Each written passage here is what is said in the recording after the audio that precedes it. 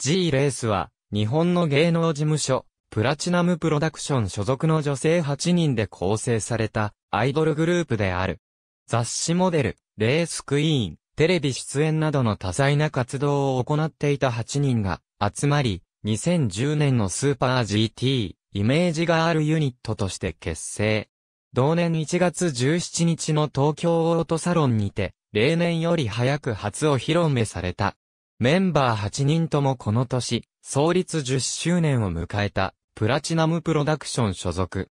同一事務所所属者のみで構成された、イメージガールユニットは2005年の PCH 以来5年ぶりとなった。またユニットのロゴマークに、がついたのは2006年の4中以来である。出来事はいずれも2010年、スーパーユーロビートプレゼンツスーパー GT2006 セカンドラウンド初週。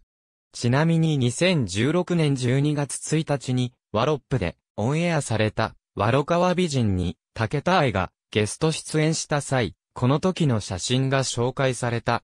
ちなみに BS 富士での放送時はエンディングにてメンバーが次戦の告知を行っていた。